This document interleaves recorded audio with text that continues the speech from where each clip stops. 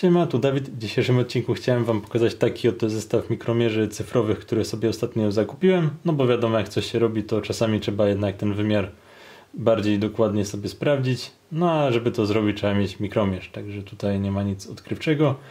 No i żeby kupić oczywiście jakiś markowy, no to trzeba by wyskoczyć z dość sporej buły pieniędzy. No a ten zestaw myślę, że wcale nie był taki drogi. No a prezentuje się chyba całkiem spoko. Myślę, że jego jakość wykonania jest bardzo w porządku. Wydaje się taki dość solidny.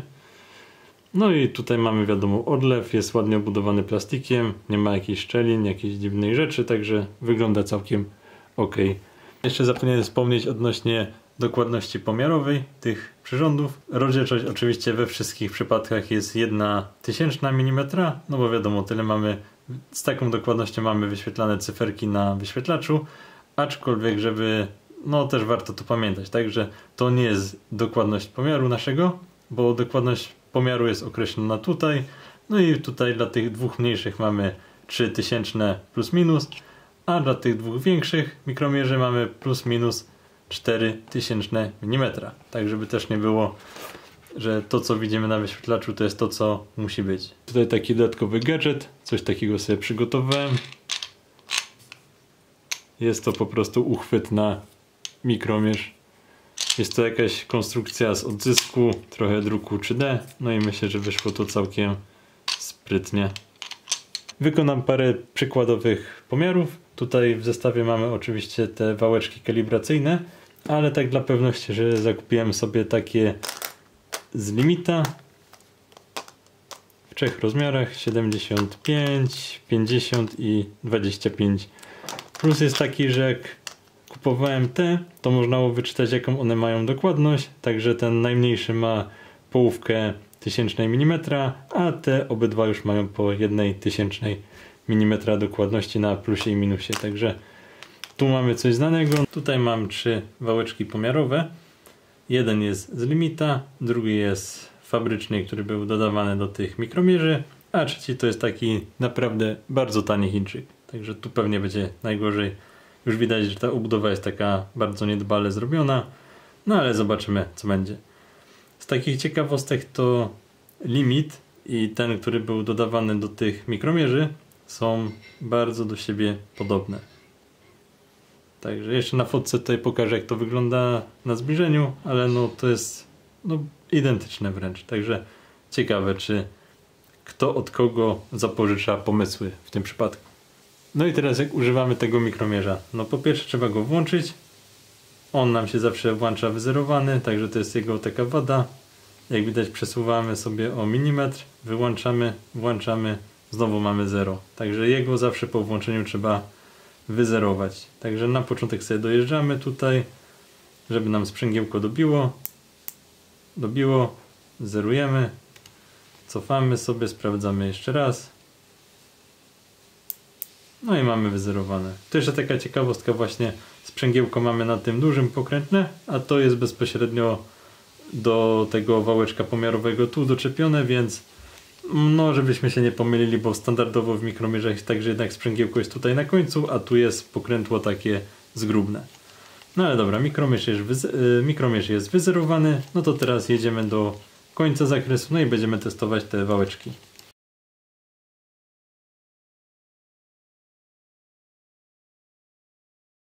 Odjechaliśmy już na 25, no i może pierwsze zabierzemy ten, który pewnie będzie najgorszy, czyli ten najtańszy Chińczyk. To kosztowało dosłownie chyba kilka złotych, także pewnie szału tu nie będzie. No i co, zakładamy, sprawdzamy. No i mamy 25 i 10, e, 11 tysięcznych. Jeszcze raz, żeby nie było. 25 11 tysięcznych. Możemy przekręcić jakoś. 25 12 tysięcznych. Ja sobie to zanotuję. Teraz sprawdzimy sobie limita.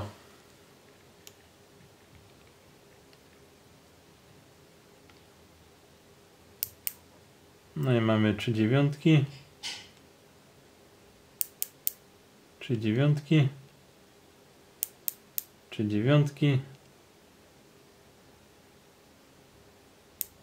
Czyli dziewiątki. Czyli wydaje się, że limit jest o jedną tysięczną za krótki.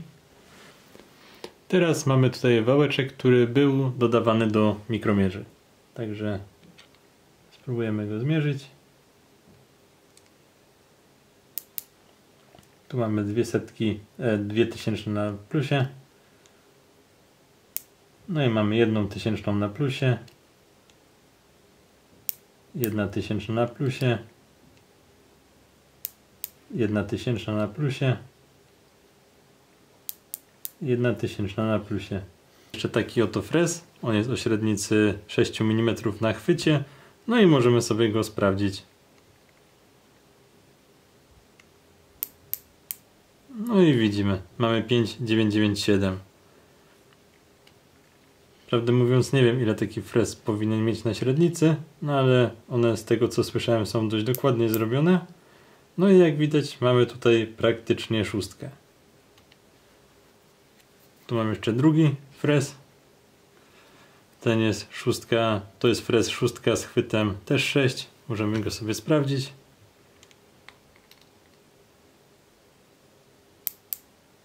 I o dziwo mamy ten sam wynik. Tutaj mam kolejny mikromierz, to jest już rozmiar 25-50. No i zaczynamy od zerowania. Tutaj mam wałeczek pomiarowy, który ostatnio dał wynik 25,001. No ale wiadomo, jeżeli teraz go wyzerujemy, to nam zeruje do równej 25. Więc możemy spróbować zrobić coś takiego, że zerujemy sobie na 25. A teraz wiedząc, że on ma o jedną tysięczną za dużo, to możemy wyzerować sobie mikromierz na 24 i 999 tysięcznych. I teraz, jeżeli sobie sprawdzimy długość tego wałeczka, to nam wyjdzie 2501, czyli tyle, ile nam wyszło w poprzednim pomiarze. Jeżeli sobie sprawdzimy tego Chińczyka,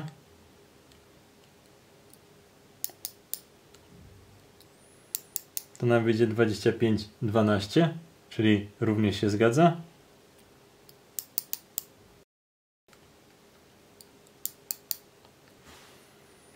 I jak sprawdzimy limita, to nam wyjdzie 24,999, czyli tak samo jak przedtem, czyli wszystko się zgadza. Pytanie, czy to jest dobry pomysł robić coś takiego, bo teoretycznie mamy na przykład ten wskaźnik od limita i nam producent tutaj gwarantuje niby coś takiego. No, pytanie, jak to się ma do rzeczywistości? Komu można bardziej ufać? Czy temu, co napisał tu producent, czy temu, co zmierzyliśmy poprzednio? Także to jest takie pytanie, na które nie znam odpowiedzi, niestety. No ale żeby może było nie było jakichś dziwnych przesunięć czy coś, spróbuję sobie zmierzyć je tak powielając niby ten błąd, no bo nie wiem czy można temu zaufać, co tu pisze. Tak, jakoś tak jestem bardziej skłonny chyba uwierzyć odczytom z mikromierza, aniżeli tym zapiskom, które tu widnieją. Jeżeli to nie jest zbyt mądry pomysł, no to zawsze można dać znać, że to nie jest zbyt mądre. Także teraz wrzucę zdjęcia z kolejnych pomiarów, bo chyba już każdy wie jak to działa, nie ma sensu tego pokazywać. No i jakieś wnioski może z tego wyjdą.